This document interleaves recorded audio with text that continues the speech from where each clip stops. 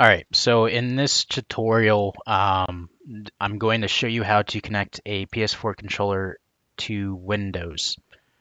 Um, so to do that, you're going to use a program called DS4 Windows, uh, which you can download at ds4windows.com. And it will bring up a page like this. You're just want to go ahead and click download and it'll take you to the GitHub um, and then you'll want to go ahead and click the zip file uh, that's right here and just download that um, to your computer. And then go ahead and just open that up.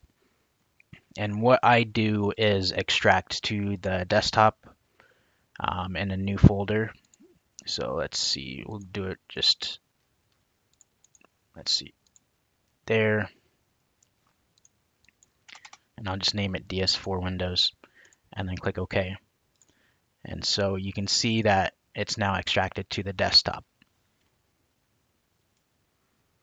All right, so next is basically to put your PS4 controller, and mine's seen uh, definitely better days, but put your PS4 controller into pairing mode.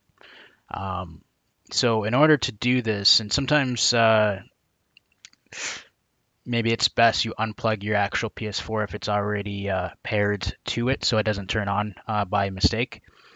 Uh, but to put it into pairing mode, you're, you're going to want to hold the PS button and the sharing button. Sharing's up there, PS4 our PS button is in the middle. So just hold those two together and the light you're going to see, and you can't really see that on camera, but it's going to just start blinking. And once you see that it's blinking, you know it's in pairing mode. Uh, so after that, you want to go back to your actual desktop.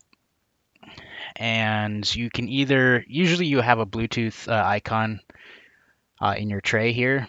Uh, if not, you can just, and you're on Windows 10, you can just type Bluetooth and go to settings there. Um, and what you're going to want to do is just add a new device, which is right up there. And then click on Bluetooth, and it should find it uh, as long as your Bluetooth is working, um, the controller, which just comes up as wireless controller. You want to go ahead and click that, it'll install, and you're basically done. Um, that's really all you have to do to get the actual PS4 controller connected to your PC. Okay, so next you want to go to the folder on your computer um, where you extracted DS4 Windows. I extracted mine to the desktop, as you can see, the icon's right there. So I want to go ahead and open that folder. Um, originally, it's just going to have two uh, files, um, but you're going to want to go ahead and select DS4 Windows. And I always select Program Folder. Um, however, you can do either or and that'll open up the actual application. Um, so from here, you can see my controller, uh, PS4 controller is already connected. Uh, it has 70% battery life um, and it's connected via Bluetooth.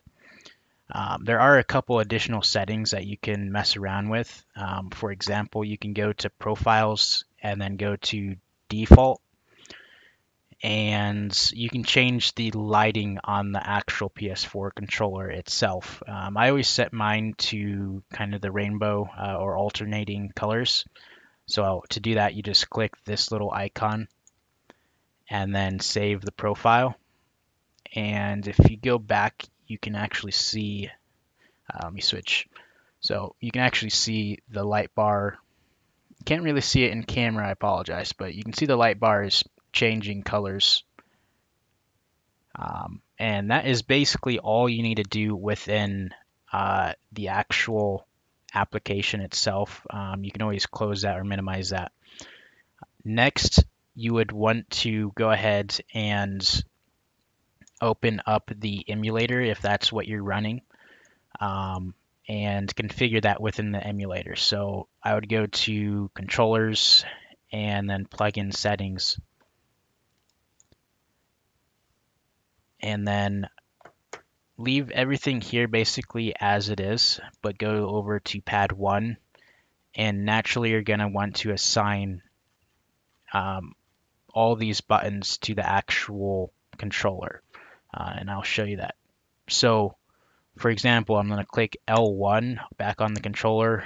I'm just going to press L1 and it will you'll see it register over here. I'm going to select L2, press L2 on the actual controller and it will change up here and you're going to want to do that for all of the buttons here and then just click apply and then click OK and that is fully set up. You have a PS4 controller uh, running on PC via Bluetooth um, and you can customize it a little bit within DS4 Windows um, and you can run it with any game um, and specifically uh, with PS or PCSX2, uh, which is a PS2 emulator.